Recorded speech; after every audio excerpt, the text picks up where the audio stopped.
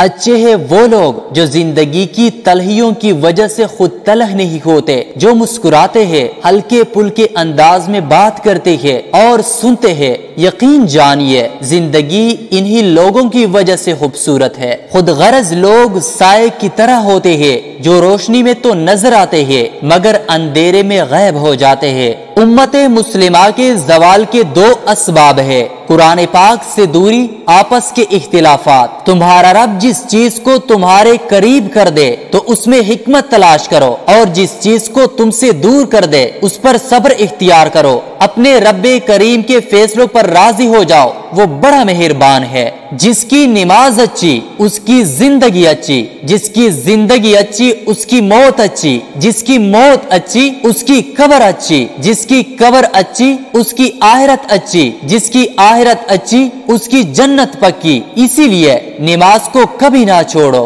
ख्वाहिश शैतान का हथियार है, जिससे वो इंसान को काबू करता है। सबर इंसान का हथियार है, जिससे शैतान काबू में आ जाता है। इंसान को दुनिया में अपनी जन्नत बनाने के लिए भेजा गया है। मगर इंसान दुनिया को ही अपनी जन्नत बनाने में मगन रहता है। इंसानों के आधे मसाइल अकल हल करती है, बाकी आधे मसाइल का हल मज़बूत शख्सियत है, जो मसाइल के साथ जीना सिखा देती है। नादान शख्स गलती करता है और भूल जाता है, अक्लमंद भी गलती करता है, मगर उसे याद रहता है। वालिदाइन की हिदमत जन्नत का दरवाज़ा है। खुश नसीब लोग इस दरवाजे को ज़िंदगी में और बदनसीब उनकी मौत के बाद ढूँढने की कोशिश करते हैं। वो आदमी नादान है जो माजी से नहीं सीखता और बार बार पुरानी गलतियाँ दोहराता है, मगर वो आदमी ज़्यादा नादान है जो माजी से सीखता है और हर दफ़ा नई गलती करता है। किसी मामूली नज़र आने वाले इंसान की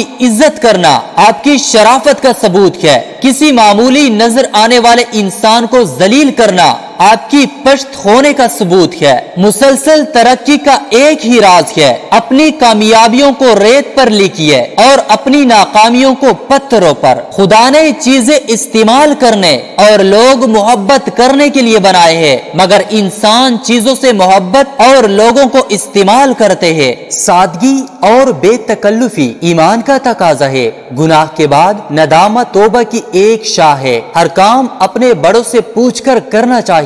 जालिमों को माफ़ करना, मजलूमों पर जुल्म करना है। कतरा दरिया में मिल जाता है तो वो कतरा नहीं रहता दरिया बन जाता है। गुस्सा इलम का दुश्मन है। इबरत के लिए कब्रिस्तान से अच्छी जगह और कोई नहीं। जिस जगह आपकी बात की कदर ना हो, वहाँ चुप रहना बेहतर है। जहम काना बड़ी बात नहीं, जहम काकर मुस्कुराना बड़ी बात है। ज़िंदगी उस्ताद से ज़्यादा सख्त होती है। उस्ताद सबक देकर इम्तिहान लेता है और ज़िंदगी इम्तिहान लेकर सबक देती है। वक्त, दोस्त और रिश्ते, ये वो चीज़ें हैं जो हमें मुफ़्त में मिलती है। मगर इनकी कीमत का तब पता चलता है जब ये कहीं खो जाते हैं। जब भी फारिग वक्त मिले तो अपनी माँ के पास जाकर बैठ जाया करो, क्योंकि माँ के साथ गुजरा हुआ वक्त कयामत के दिन निजात का बायस बनेगा। कोई इंसान कितना भी गुनहगार क्यों ना हो, रब्बुल आलमीन उसके लिए दुआ का वसीला,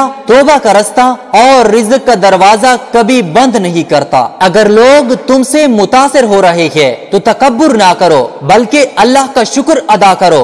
कि उसने तुम्हारे एब छुपाकर तुमको लोगों में मुआजज बना रखा है। लोगों से दुआ की इल्तिमास करने से बेहतर है कि इंसान खुद ऐसा हो जाए कि लोगों के दिलों से खुद ब खुद उसके लिए दुआएँ निकले। इंसान जब अच्छा सोचता है तो अल्लाह खुद ही रास्ता बना देता है और मुश्किल आसान कर देता है। इंसान भी बड़ी अजीब चीज़ है। पैसा कमाते कमाते सेहत से हाथ धो बैठता है और फिर सेहत पा लेने के लिए सारा पैसा लुटा देता है जीता ऐसे है। कि जैसे मरना ही नहीं और मर ऐसे जाता है कि जैसे कभी जिया ही नहीं। अल्लाह पर हमेशा भरोसा रखो, क्योंकि अल्लाह वो नहीं देता जो आपको अच्छा लगता है, बल्कि वो देता है जो आपके लिए अच्छा होता है। किसी को उसकी जात और लिबास की वजह से हकीर ना समझना, क्योंकि तुम्हें देने वाला और उसे देने वाला एक ही है अल्लाह। वो ये उसे अता कर सकता है और आपसे वापस भी ले सकता है।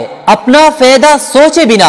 सबके साथ भलाई करो, क्योंकि जो लोग फूल तकसीम करते हैं, उनके हाथों में खुशबू ज़रूर रह जाती है। चाहे कांटे भी लग जाए, अंधेरों में चराग वही जला सकते हैं, जिनके अपने अंदर उजाला हो, और उजाला सबर व शुक्र से नसीब होता है। उनकी खामोशी से डरो, जिनका आपने दिल दुखाया है, क्योंकि अगर उन्होंने कुछ कहा नहीं या किया नहीं तो बदले में अल्लाह ज़रूर करेगा। पाँच बातें घर में बदबख्ती व परेशानी लाती है। नंबर एक, छोटी छोटी बातों पर लड़ाई झगड़े। नंबर दो, घर की सफ़ाई ना करना। नंबर तीन, ज़िक्र व अजकार ना करना। नंबर चार, दरवाजे के पास गंदगी फैलाना। नंबर पाँच, रिजक की नाशुक्री करना। मजीद अच्छी अच्छी वीडियोस के लिए इस चैनल को ज़रूर सब्सक्राइब करें। शुक्रिया।